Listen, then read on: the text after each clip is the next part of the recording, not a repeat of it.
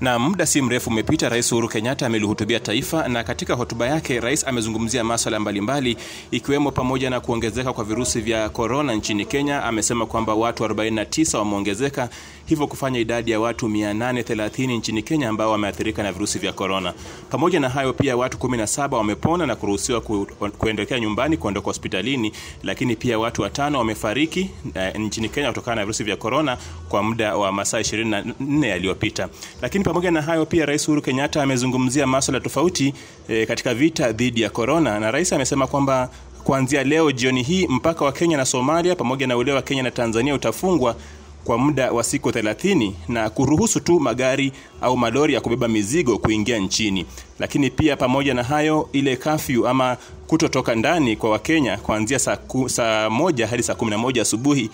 Rais ameongeza kwa muda wa siku 21 pamoja na pia na kuingia Nairobi, Mombasa, Wajia, Kilifi na Kwale. E, sheria hiyo ama amri hiyo ya Rais Kenyatta imeongezwa kwa siku ishirini na moja na kukamilika e, tarehe sita mwezi wa Juni. Rais anasema kwamba amechukua hatua hii kutokana na kwamba chini ya wiki moja visa 43 vya korona ambavyo vimeripotiwa nchini Kenya vimetoka katika we, raia wa mataifa jirani, ndio basi kuchukua hatua hiyo ya kufunga mipaka na kuruhusu tu magari au malori ya kubeba chakula. that there will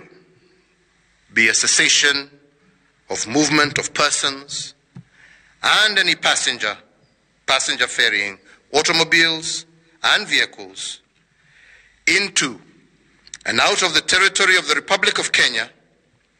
through the Kenya-Tanzania international border except for cargo vehicles with effect from midnight tonight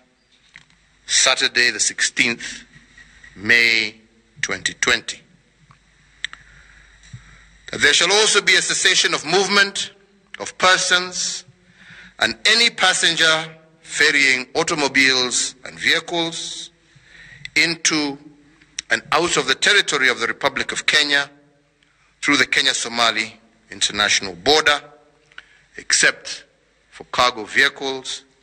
and this also will take effect from midnight today, Saturday, the 16th May 2020. That all drivers of cargo vehicles shall be subjected to mandatory COVID 19 disease testing and will only be granted entry into the territory of the Republic of Kenya if they test negative. That the nationwide dusk to dawn curfew that is currently in force will be extended for a further period of 21 days up to and until the 6th of June 2020. That the cessation of movement into and out of the Nairobi metropolitan area and the counties of Kilifi, Kwale, Mombasa, and Mandera that is currently in force shall also be extended up to and until the 6th of June 2020. The government will continue to take every measure that it can to protect the lives of Kenyans from this pandemic and to plan also for the recovery of our economy post the crisis. The whole world is walking through the valley the shadow of death. However, I know and I believe